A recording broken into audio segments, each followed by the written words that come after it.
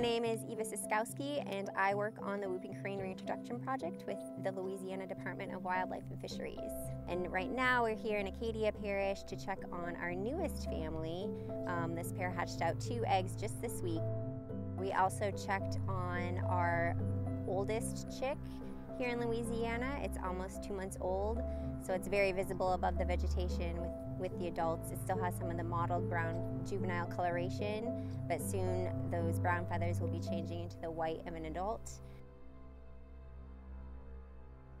So today we're going to try to get our eyes on a pair of new babies that just hatched this week. Um, and being that they are very small, we're going to try to sneak up as close as we can without disturbing the family.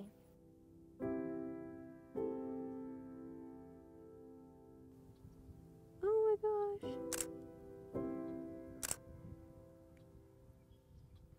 Thankfully, they crossed a little open area of water when we got here and we got a good look at them swimming and now they're on the levee, so they're still visible. Looks like the adults are being very attentive, so that's good. Moving slowly. Yep, making sure the chicks can keep up. This pair did raise a chick to independence in 2018, so they have some experience. Um, so hopefully they'll be able to do it with two of them.